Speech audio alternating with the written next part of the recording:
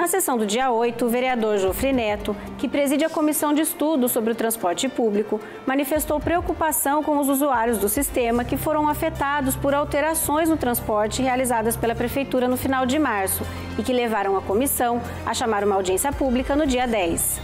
A nossa preocupação maior, senhor presidente, se refere menos ao tráfego de veículos porque quem está sentado dentro de um veículo, maior de sabor que tenha, ainda está protegido da chuva, do sol, do risco de ser abordado num ponto escuro à noite e distante.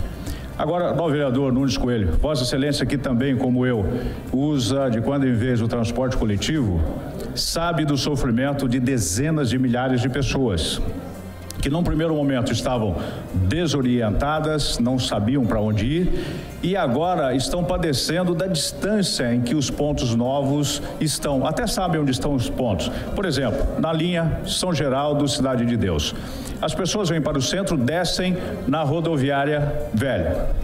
E quando vão voltar, o ônibus não passa lá.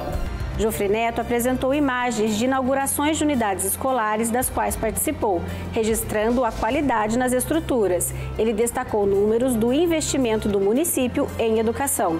Em 2012, no último ano do governo passado, da Idade Média Taubatiana, nós tínhamos no ensino integral cerca de 500 alunos.